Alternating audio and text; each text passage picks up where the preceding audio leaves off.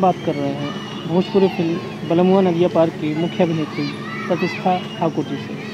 हमारे चैनल सार्थक न्यूज़ में आपको बहुत बहुत स्वागत है। थैंक यू सो मच हमारे चैनल आपसे ये जानना चाह रहा है कि क्या आपकी ये पहली भोजपुरी फ़िल्म है या इसके पहले भी आपने किसी भोजपुरी फ़िल्म में काम किया इससे पहले मैं बॉलीवुड मूवीज़ में काम कर चुकी हूँ web series and movies and Bhojpuri मेरी फ़र्स्ट मूवी है और मैं इसको लेके बहुत एक्साइटेड हूँ।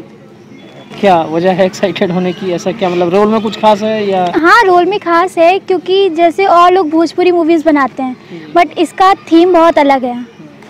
और मैं बहुत ज़्यादा एक्साइटेड हूँ। क्या मतलब थीम में क्या अलग है? जैसे बहुत सी मूवीज़ बनती है बलगर बनती है बट इसमें वैसा कुछ नहीं है। प्रतिष्ठा जी एक्टिंग फ़ील्ड में कब से आप जुड़ी?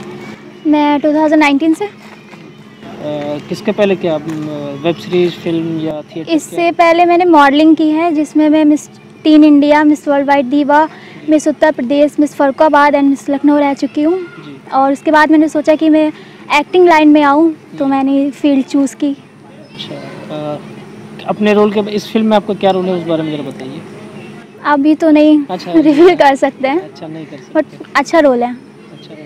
आपको क्या लगता है कि जिस अभिनेत्री या अभिनेता का फिल्मी बैकग्राउंड नहीं होता उसके लिए ये फ़ील्ड कितना संघर्षों से भरा है बहुत ज़्यादा क्योंकि इंसान जब स्ट्रगल करता है तभी आगे बढ़ता है। बिना स्ट्रगल करने से कोई आगे नहीं बढ़ सकता है।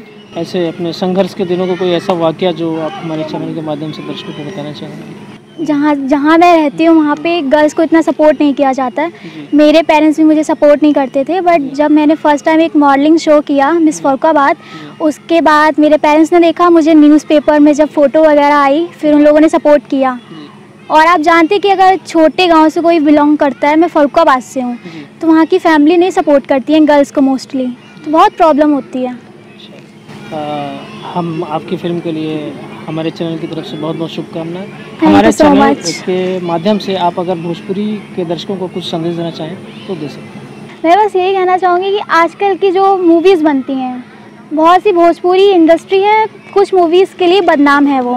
बट जैसी हमारी मूवी बन रही है पूरी संस्कृति पे है। काफ़ी अच्छा है उसमें कोई बलगर चीज़ नहीं है। सभी चीज़ें बहुत अच्छी हैं।